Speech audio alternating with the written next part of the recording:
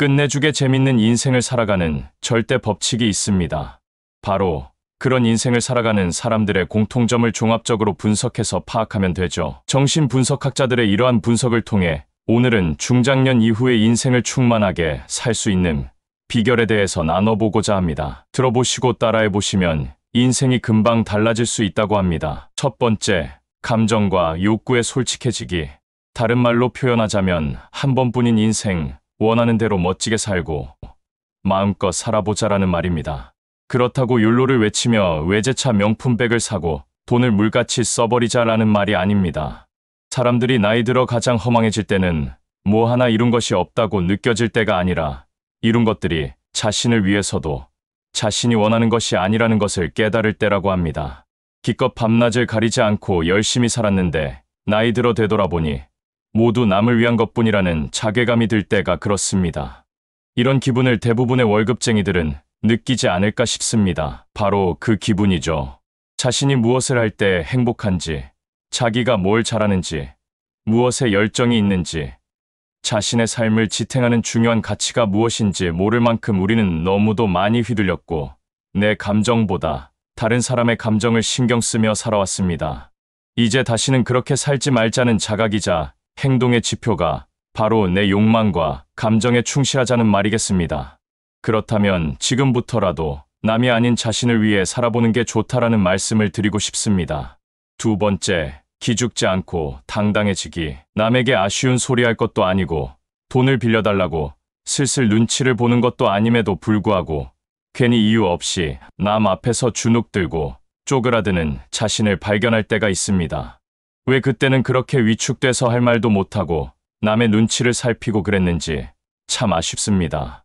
잘못한 것도 없고 뭔가를 기대하거나 아쉬운 소리 할 것도 아닌데 마치 죄라도 지은 사람처럼 숨기고 있는 사실이 들통날까봐 두려운 사람처럼 위축돼서 살아가는 사람들이 있죠. 그럴 필요 없습니다. 잘났든 못났든 돈이 많든 적든 많이 배웠던 못 배웠던 좋은 회사를 다녔던 그렇지 못한 회사를 다녔던 어차피 하루 세 끼 먹는 것은 똑같고 생로병사를 겪는 것도 다름이 없습니다.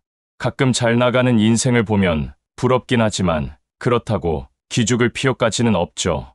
괜히 속된 것에 기죽지 말고 당당하게 어깨 펴고 굳은 표정 풀고 살아가자라고 말씀드리고 싶습니다. 세 번째, 사랑하는 마음 전하기.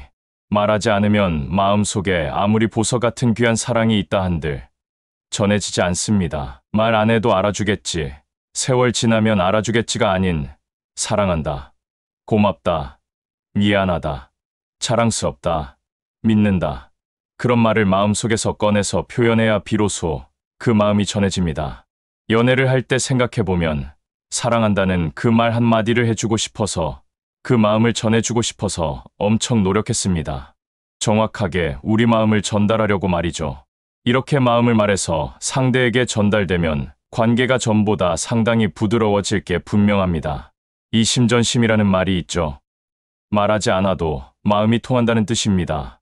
그러나 안타깝게도 그런 일은 일어나지 않습니다. 인류 역사상 오직 딱 한 번 석가모니에게 일어났을 뿐입니다. 어느 날 석가가 영치산에 모인 제자들에게 설법을 하면서 연꽃 한 송이를 집어들고 빙글빙글 돌렸다고 합니다. 앞에 앉은 제자들 중에 아무도 알아차리지 못했는데 오직 가섭이라는 제자만이 알아차리고 빙글에 웃었다고 하죠. 바로 여기에서 이심전심이라는 말이 유래했습니다. 하지만 우리가 사는 현실에서 이런 일이 일어나기를 기대해서는 안 됩니다. 영영 일어나지 않을 테니까 말이죠. 말하지 않으면 그 마음 속에 뭐가 들어있는지 귀신도 알 수 없는 노릇입니다. 자신에게 좋은 마음, 사랑하는 마음, 고마워하는 마음, 미안해하는 마음이 있다면 상대가 알 수 있도록 분명하게 마음을 전해야 합니다. 그 마음이 전달되었을 때 우리는 비로소 즐거운 인생을 살아갈 수 있습니다. 네 번째, 인생의 주인공은 나로 만들기. 인생을 잘 사는 것도 못 사는 것도 모두 내 탓입니다. 하지만 나이 50, 60을 먹어서까지 부모 탓하는 사람이 있는데 그 얘기를 듣고 있노라면 가엾고 측은하기 그지 없습니다. 어느 누구는 돈 많은 부모 만나 평생을 돈 걱정 없이 잘 살고 있고 또 누구는 사랑이 많은 부모를 만나 사랑 듬뿍 듬뿍 받아가며 잘 컸습니다. 세상이 불공평합니다. 하지만 그게 또 자신의 노력으로 그것을 유지할 수 있는 그릇을 만들지 못한다면 부모가 물려준 재산 다 날려먹기 일수고 부모가 베푼 사랑도 헛되이 사라질 수 있습니다. 우리가 알지 못하는 그들만의 아픔과 노력이 또 있다는 것을 인정해줘야 합니다. 그런 측면에서 헤아려 본다면 세상이 영 불공평하게만 굴러가는 것은 아니라는 것을 알 수 있습니다. 이제까지 부모 탓하고 남 탓만 해왔다면 지금부터라도 내 인생은 내가 만들어 간다는 다부진 마음이 필요합니다. 마지막 다섯 번째, 쓸데없는 걱정하지 않기. 걱정해서 걱정이 없어지면 걱정이 없겠다. 티벳의 유명한 격언입니다. 걱정에 대한 전곡을 찌르는 말입니다. 우리 어깨를 짓누르고 있는 걱정들을 걱정해서 없어진다면 정말로 좋겠지만 혹시 하고 있는 걱정들이 너무 완벽해지기 위해서라든지 목표를 비현실적으로 높이 잡아서 생기는 것은 아닌지 살펴봐야 합니다.